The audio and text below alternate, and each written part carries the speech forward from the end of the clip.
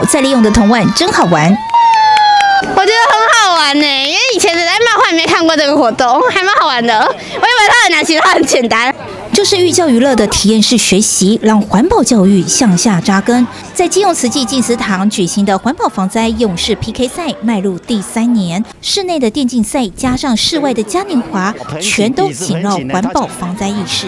捡这些废弃物来，动手去把它做出来。你会很有成就感。这是我们主要的帐篷，然后它又称为移动的帐篷。对，然后里面这个是福慧床，它除了是床之外，也可以是椅子。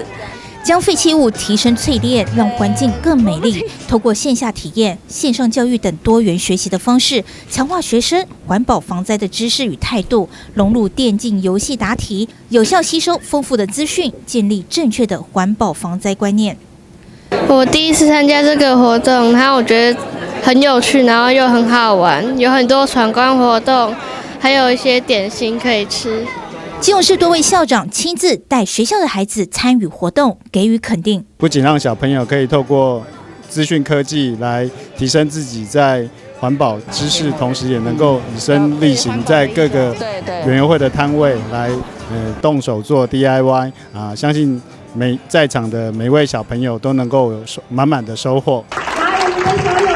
非常有创意的，结合我们在地的生活，然后也给小孩子一个正确的观念。站在一个教育小组的立场上，我们是全力来支持。尤其今天市长、副市长、还有议长，还有我们教育小组的几乎成员都到来支持这个活动。活动现场贵宾云集，一起为环境永续而努力。